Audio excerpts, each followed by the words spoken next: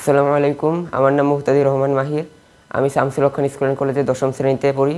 আমি পিটিএইচ মেধাবী তালাশে দুই হাজার উনিশ সালে দ্বিতীয় স্থান অধিকার করি এবং পাঁচ হাজার টাকা মেধাবৃত্তি পুরস্কার পাই। আমি দুই হাজার বিশ সালে পিটিএইচ মেধাবী তালাশে বারোতম স্থান অধিকার করি। আমি বড় হয়ে প্রকৌশলী হতে চাই, এজন্য সবাই আমার জন্য দোয়া করবেন।